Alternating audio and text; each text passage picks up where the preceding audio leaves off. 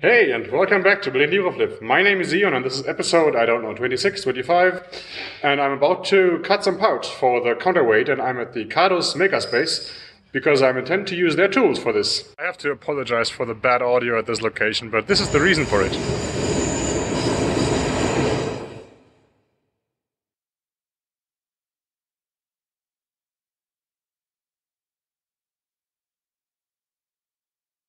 This is the machine. I have never used it before. Let's see how this works out.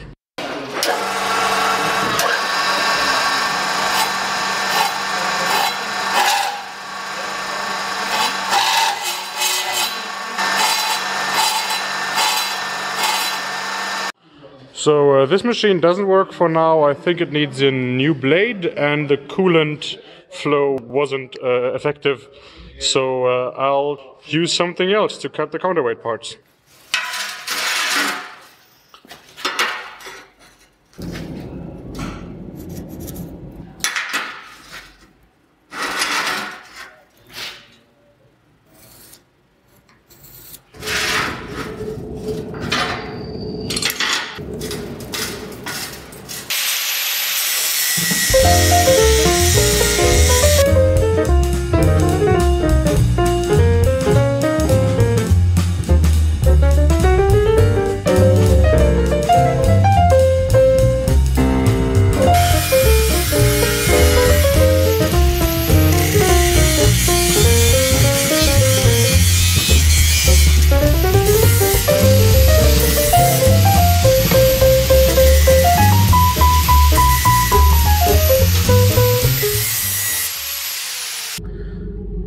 Pieces of steel will become the counterweight for the suction box. I figure it should be possible for nearly everyone to get a piece of steel 80 millimeters wide, 5 millimeter thick, and just chop it up like I just did in pieces of a length. This is uh, a 14.2 centimeters, 142 millimeters in this direction from here to there.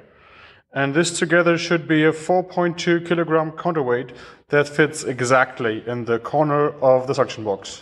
Thanks, Carlos, for letting me use your tools. I am now back in the workshop of c-base. Let me show you what I've been up to.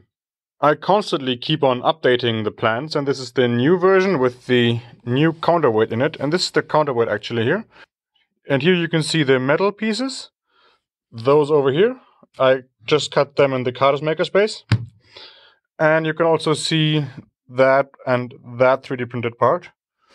And those are printing right now. This is the Octoprint web interface. And right now I'm printing these two parts that hold the linear bearing and go here and there. And other parts for the counterweight. So this top pulley up there, the, the holder there, it's already printed and it looks like this. And that part I still have to print. Right now I want to focus on drilling these two holes. And with these two holes, this whole stack is attached together. Let's mark these.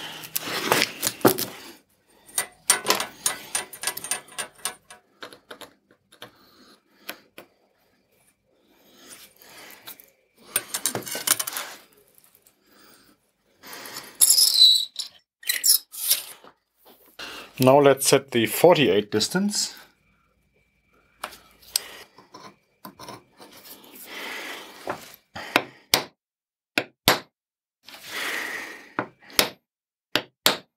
And now let's drill this with a 5 millimeter hole.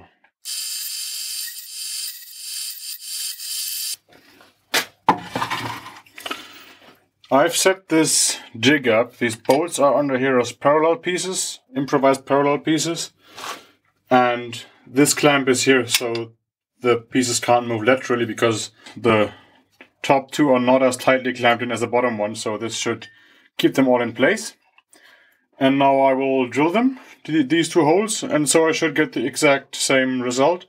And then I can take it all apart and put another two underneath and always keep the first one as original to take measurements off of.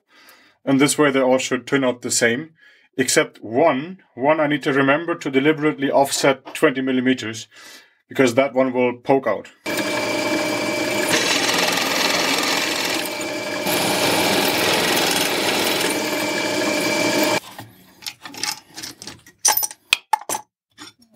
So top one I keep, and the other two one can be taken out and replaced. You see down here, the clamping part doesn't go completely down, so I can't clamp anything properly. So I'll put these spacer pieces, these bolts under here, to lift up the lo uh, lower one in the region where the jaws actually can clamp down on it. So, yeah, let's line them up as best as we can. Let's go with the second round. Okay, let's try to offset this somehow. Like this should be good. I just eyeballed these 20 millimeters, but that's okay. And I will quickly drop an M5 bolt in this hole because I don't have the other clamp. Okay. And now we can try whether this fits together.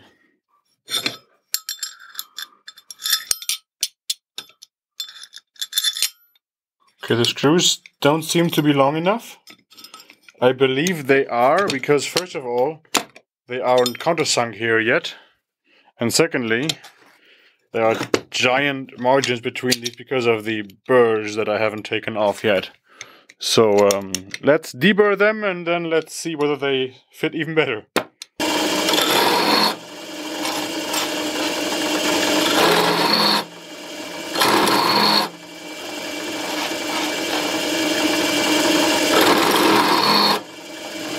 Okay, that looks much better. That fits really nice together now I need to sink this one outer piece a bit further. Let's do this. There it is, through the power of video editing. Yes, now it's flush.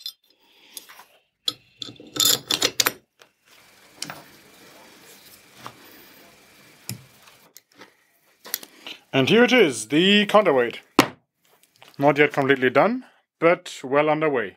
And while I was working on this part, the bearing holders that hold the linear bearings are also nearly done. It says 94% uh, done. So really close. Great. And here are the printed parts. Let's see if they fit.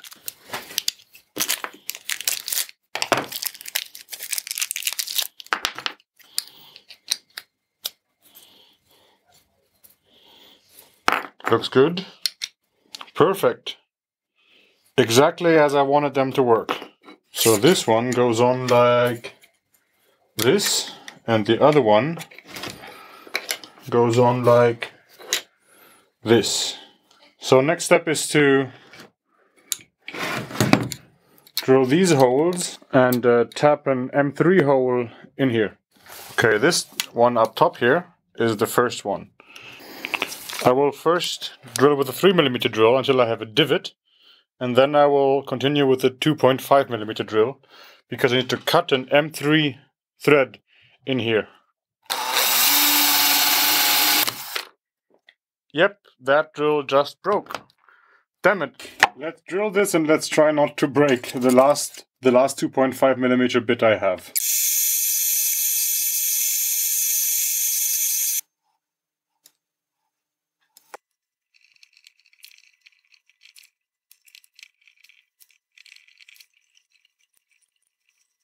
Now the second cutter in a row of three.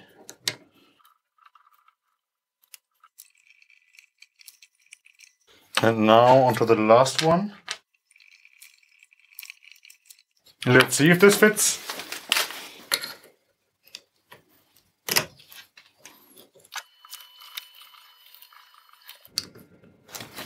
Okay, now that this is fixed in place, I can drill and tap these two screws. Let's hope that I don't break the last 3mm drill. Yeah, it should be visible.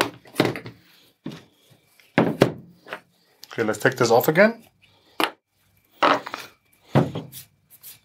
Okay, yeah, good, visible. Let's take this over to the drill press and drill a 2.5 millimeter hole in there.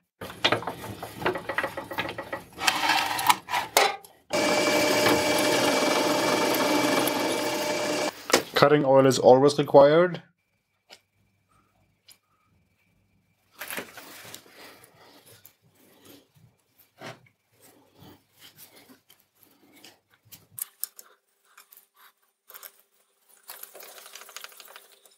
I am happy with this. Looks good. Now onto the other one. Before I continue, I need to drill the hole where the line attaches, the line that goes over the pulley.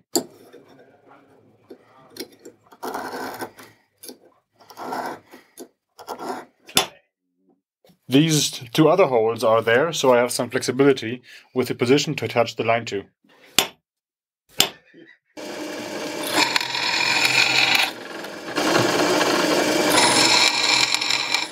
Obviously I need to deburr these really good so so to not hurt the line that goes through.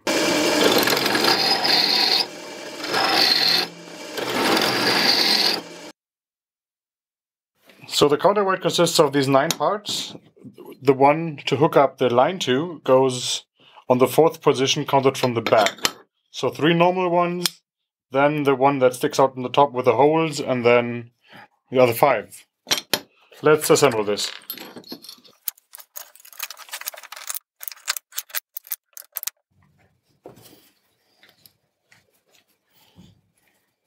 Let's continue with the other linear bearing which goes on that corner in this position. Let's check the plans. Yeah, this position, like this.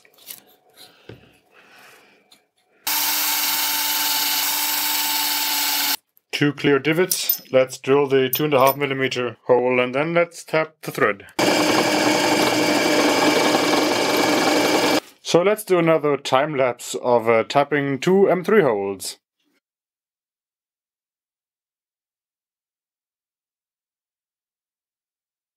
Let's try if this fits.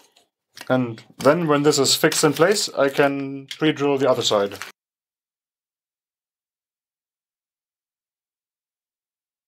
Now I'll drill the two and a half millimeters of the last two holes. Let's hope to not break the drill bit now. And then this counterweight thing is done.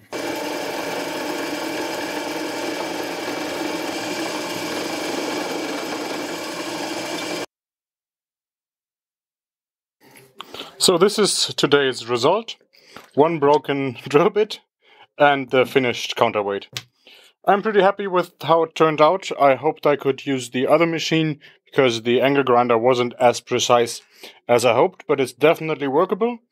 And in the next episode, I will mount the two guide rods, the guide rails, and install the other parts of the counterweight, and hopefully be done with that. So this is again a two-part project, part one making of, and part two installation of the new counterweight. Thanks for watching. In the next episode, I will install the new counterweight. Uh, this is the counterweight that I just made, and in the next episode, I will install it. I'm releasing episodes usually Thursday, unless I skip a Thursday, uh, which sometimes might happen. But generally, I'll release weekly episodes of Building LibreFlip and a series where I show every step how to make the page turning book scanner LibreFlip yourself. If you like to support the project, then please consider to subscribe to the channel or follow on Twitter or like, share, retweet, the usual. See ya next Thursday.